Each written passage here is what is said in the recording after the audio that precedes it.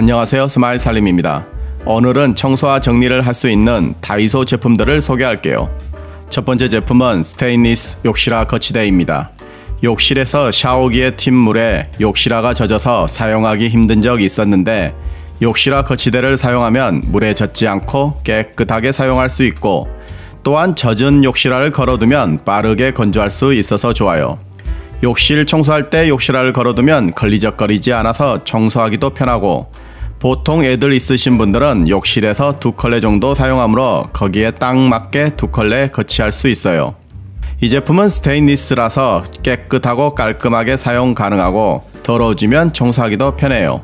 사용법은 동봉된 접착 시트를 부착한 뒤 거치대에 걸어주면 무타공 공중부양할 수 있어요. 거치대를 욕실뿐만 아니라 거실 입구에 설치하고 슬리퍼를 걸어두면 거실 슬리퍼 또한 정리할 수 있어서 좋아요. 두 번째 제품은 클리어 점착 후크입니다. 바닥에 널려 있는 가벼운 물건들은 점착식 후크를 사용해서 공중부양시키면 깨끗이 정리돼서 편리해서 자주 사용하는데 이 제품은 두 개의 후크가 붙어 있고 L자형이라서 좀 더 유용하게 사용하고 있어요.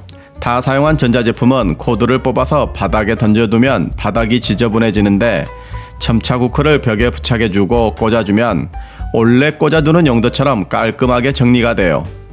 욕실벽에 붙여주면 선반 위에 대충 올려두고 사용하던 면도기를 후크에 걸어 깨끗하게 사용할 수 있고 주방벽이나 싱크대 안쪽에 부착하고 주걱이나 뒤집개를 꽂아주면 하나씩 거치할 수 있어서 좋아요. 집안 곳곳 필요한 곳에 더블 후크를 걸어 물건들을 공중부양시켜주세요. 세 번째 제품은 압축식 안개 분무기입니다. 일반 분무기로 식물잎에 물을 뿌리면 한 곳에 뭉치다 보니 식물의 잎이 아파하는 것처럼 보이면서 물이 흘러내리는데 다이소 안개 분무기를 사용해서 뿌려주었더니 물이 한 곳에 모이지 않고 골고루 뿌려져서 촉촉하게 보여서 생동감 있는 식물을 만들 수 있어요.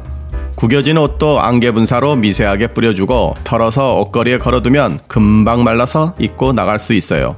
일반 분무기와는 달리 한 번만 눌러서 뿌려주면 2초 정도 길게 안개처럼 분사되는 반자동 분무기입니다.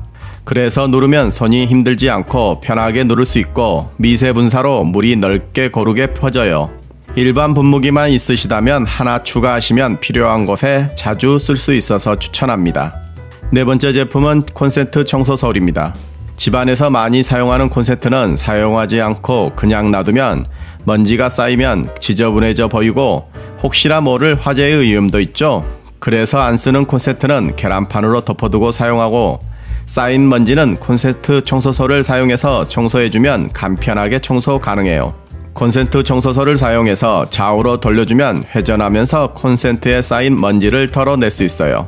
청소솔 반대편에 틈새소를 사용하면 콘센트 주변에 쌓인 틈새 먼지를 제거할 수 있어요. 이 제품으로 집안 구석구석에 있는 콘센트 먼지를 제거해 줄 수 있어서 청소할 때 불편했던 부분을 깔끔하게 해결했어요. 다섯 번째 제품은 변기 크린 리더입니다. 집에서 변기 청소 아무리 깨끗하게 하더라도 물탱크에 악취와 찌든 때가 발생하기 쉬운데 그렇다고 낙수물이나 과탄산소다로 자주 청소하기도 힘들어서 변기용 크린리더를 넣어두고 사용해보니 간편해서 좋아요. 전원에 두 개가 들어있고 변기 물탱크를 열고 변기 물이 나오는 부분에서 떨어진 곳에 놔두면 설치가 되니 간편해서 좋네요.